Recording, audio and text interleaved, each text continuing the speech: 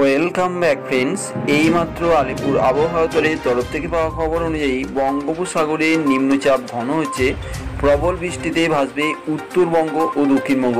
তো বন্ধুরা, বঙ্গোপসাগরে যে নিম্নচাপ সৃষ্টি হয়েছে, তার জেরে পশ্চিমবঙ্গের উত্তরবঙ্গ ও দক্ষিণবঙ্গের কোন কোন জেলায় ভারী বৃষ্টি বা হালকা থেকে মাঝারি বৃষ্টির সম্ভাবনা জারি করা হয়েছে।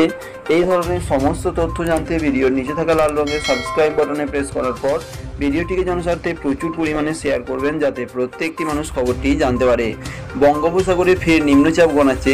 সে কথা জানিয়ে আগেই সতর্ক করেছিল আবহাওয়া দপ্তর। বুধবার ফের রাজ্য জুড়ে বৃষ্টির পূর্বাভাস এলো। দক্ষিণবঙ্গের কয়েকটি জেলায় এদিন ভারী বৃষ্টি হতে পারে বলে জানিয়েছে আলিপুরের হাওয়া অফিস কলকাতা, উত্তর ও দক্ষিণ চব্বিশ পরগনা সহ একাধিক জেলায় বজ্রবিদ্যুৎ সহ বৃষ্টির সম্ভাবনা রয়েছে। আকাশ সারাদিন মেঘলা থাকবে। বাতাসে জলীয় বাষ্পের পরিমাণ বেশি থাকায় বাড়বে আর্দ্রতাজনিত অস্বস্তি।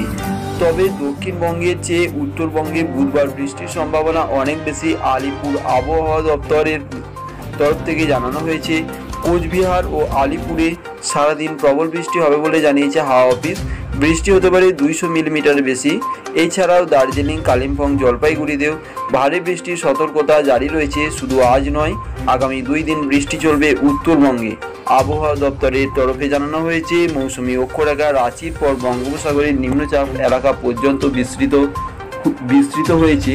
উত্তর, পশ্চিম, বঙ্গোপসাগর ও ওড়িশা উপকূলে নিম্নচাপ সৃষ্টি হয়েছে। আগামী আটচল্লিশ ঘন্টায় তার অভিমুখ হবে উত্তর ও উত্তর পশ্চিম দিকে। উড়িষ্যা ছত্তিশগড় হয়ে তা মধ্যপ্রদেশের দিকে সরে যাবে। দক্ষিণা বাতাস শক্তিশালী হওয়ায় প্রচুর জলীয় বাষ্প ঢুকছে বাংলায়। উত্তর, পশ্চিম বঙ্গোপসাগরে আজ মৎস্যজীবীদের সমুদ্রে যেতে মানা করা হয়েছে। নিম্নচাপের প্রভাবে ভিন রাজ্যে অতিবৃষ্টির পূর্বাভাস রয়েছে।